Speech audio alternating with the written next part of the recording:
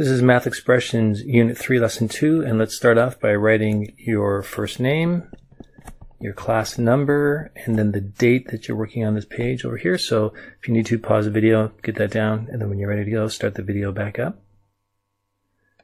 Okay, so in this lesson, we are going to build and discuss other numbers. And for this lesson, you are going to need what Math Expressions calls the secret code cards that are on page 189A through 189D. So you're going to need to have those all cut out and ready to work with. So if you need to stop the video, pause the video, whatever, uh, to get those ready, go ahead and do that. And then when you're ready, so let's start the video back up.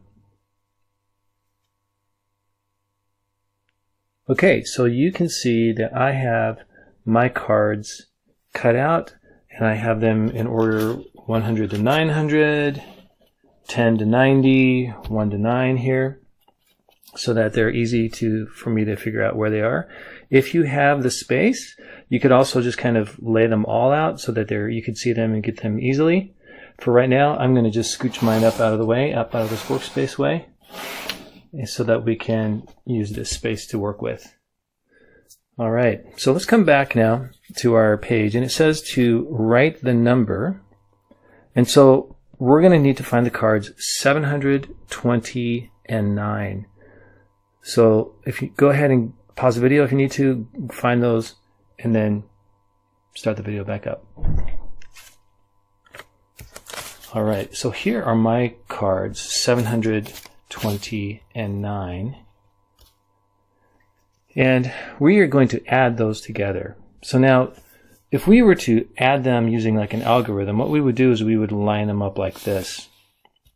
And I actually made a little thing up here to show us the digits that are in the ones. These are the digits in the ones place. These are the digits that are in the tens place. And then over here are the digits that are in the hundreds place. So if we were to add them up, go straight down, 0 plus 0 plus 9, would be 9, 0 plus 2 would be 2, and 7, nothing added on. But what we can also do is we can layer these on top of each other like this. So now we have the 7 still in the hundreds place, the 2 is still in the tens place, and the 1 or, or the 9 is still in the ones place. So now you can see that that number, when we put it all together, is 729. And that's what you are supposed to do over here. So we're going to write the number 729. Okay, and now for the rest of the problems, 2 through 6, that's what I want you to do. I want you to use your number cards to, first off, build those numbers, and then write what number those add up to. So go ahead, pause the video, and then when you're ready to go, you can start the video back up.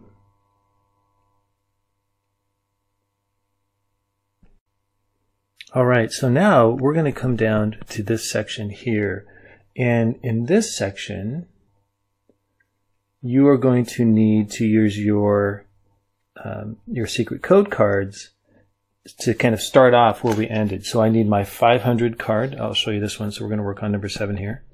I need my 500 card. I need my 80 card. Get them lined up like this. And then I need my 5 card. So this time they're wanting us to start off like this. So we have those ready to go. And what they're wanting us to do, and this is why they're called, they call these expanded numbers, expanded form. What it wants us to do is to break these apart, to go like this. So we'll take this away. And now we've, we've exploded that. We've expanded it is the term. So now we have 585. So we're kind of doing the reverse of what we did up above. So we're going to write 500 plus 80 plus 5. That's the expanded form. That's in one way. The other way is we need to go 5 hundreds, 8 tens, and then 5 ones. So that's writing the expanded form in two different ways.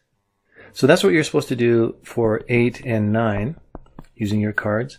and you're going to need to make sure that you have your, your thousands card ready to go.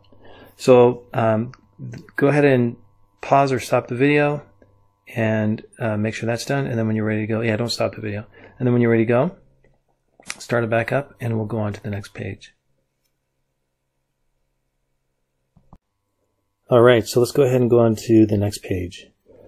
And let's write our first name, our student number, and the date that you're working on this page up there. So go, go ahead and pause the video if you need to, and then start it back up when you're ready.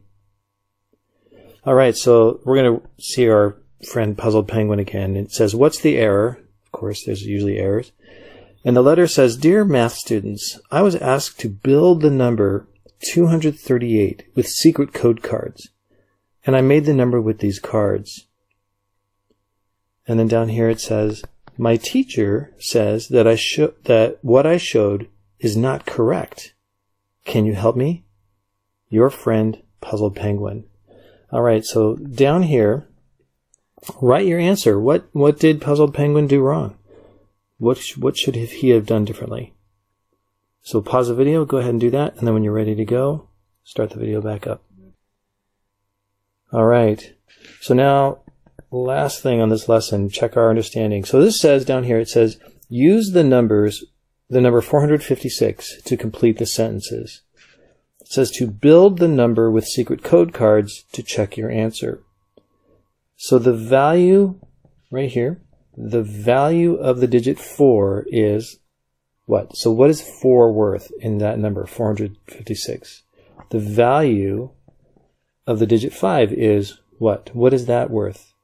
And then the value of the digit 6 is what? What's the value of that 6? So that's the end of the lesson. So go ahead and uh, do that, and then that's the end of lesson two.